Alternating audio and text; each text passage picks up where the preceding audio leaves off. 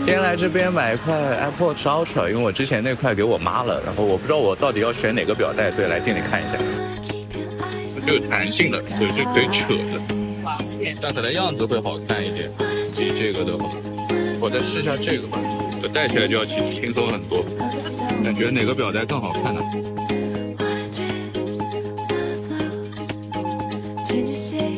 到家啦，先把刚买的 Ultra 二给开箱了。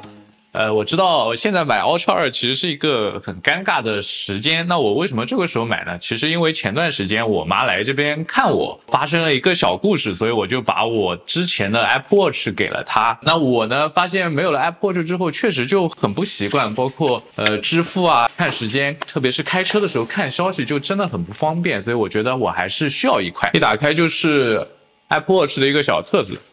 里面有一些 Apple Watch Ultra 二的一些介绍。那然后我之前没有买 Ultra 二呢，一方面是考虑到预算觉得比较贵，另外一方面又觉得表盘太大了，戴起来可能不是很合适。但是这次试戴了之后，发现其实表盘大的话戴起来也是蛮好看的，所以就还是决定买一块 Ultra 二。那我妈发生了什么故事呢？其实就是她来这边之后，有一天晚上我跟她吃好晚饭，然后带她出去散步，走着走着就突然发现她上气不接下气了。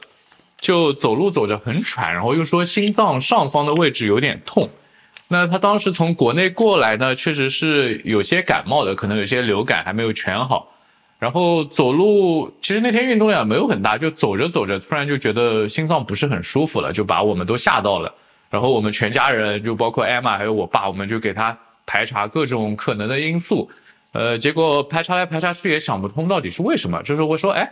你干脆带上我的 Apple Watch 试试，给你测一个这个血氧，结果果不其然，血氧测出来只有百分之九十二还九十三。因为血氧嘛，一般正常的时候要百分之九十五以上，那供氧才充足，人才觉得比较舒服，所以就查到这个原因了。然后我当时想，哎，这个 Apple Watch 没想到还真的起到了一个监控的作用，所以我干脆就说，妈，你就把我这个 Apple Watch 拿去吧，然后你每天。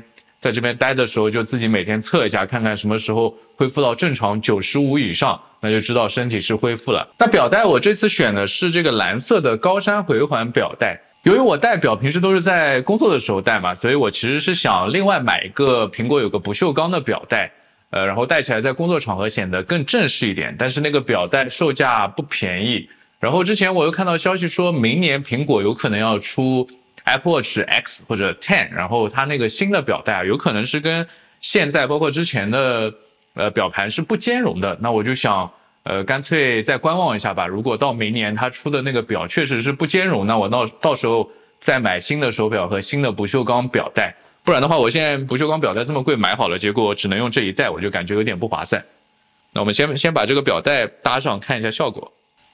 哦，就是这个样子，好像跟这几天。库克在上海的时候戴的是一个表带，是不是？我看新闻里面好像他戴的也是这个颜色的这一款，呃，回形表带。那上上手看一下效果。其实刚在店里面试的时候，我是觉得这个表带戴起来有点麻烦，需要熟练一点才能够比较快的戴上。然后果不其然，我现在回来试了几次之后，要比在店里面试戴的时候好很多了。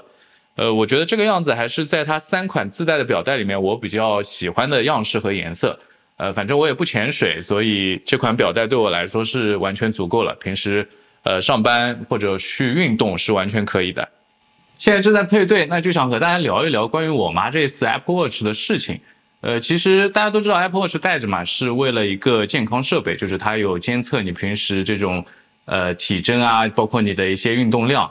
呃，但是因为我呃之前没有遇到过类似的事情，就是突然感到不舒服，所以也确实没想到。对于很多人来说，尤其是像我们父母这个年龄的年龄段的人来说，真的是一个很重要的设备。